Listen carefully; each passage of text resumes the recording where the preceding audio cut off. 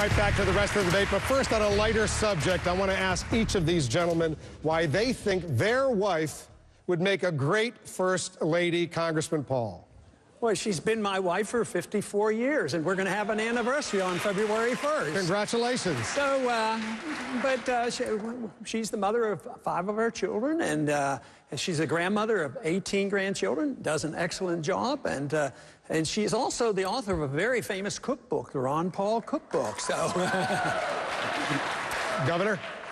I, I got to take a little more time, a little more seriousness. Uh, my, uh, uh, my, uh, nothing wrong with what you said. I'm sorry. Uh, my, my wife is also a mom, and as I pointed out early on, uh, but, but in some respects, she is a, a real champion and a, and a fighter. She was diagnosed in 1998 with multiple sclerosis, and more recently with breast cancer. She has battled both successfully. And as First Lady, she will be able to reach out to people who are also struggling and suffering and will be uh, someone who shows compassion and care.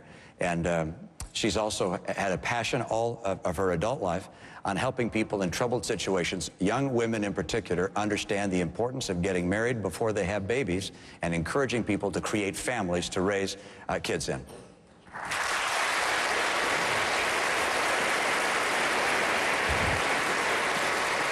I say, first of all, having gotten to know them, I think all three of the wives represented here would be terrific first ladies. We've, Callista and I have gotten to know all three of them. We think they'd be fabulous people. So I'd rather just talk about why I like Callista and why I'd like her to be first lady, but she's not necessarily in any way better. These are wonderful people, and they would be wonderful first ladies. Uh, but Callista brings a couple things. One is a tremendous artistic focus. Uh, she's done a video and music education, why it really matters. She's a pianist by background, plays the French horn in the community band, sings in the choir of the Basilica of the National Shrine of the Immaculate Conception. She really cares about the arts and would bring a really strong feeling for music education and for art and why it matters to people as part of their education. She's also very patriotic about American exceptionalism. She's had a best-selling New York Times book, uh, children's book, uh, and, and, has really reached out to young people to get them to understand America.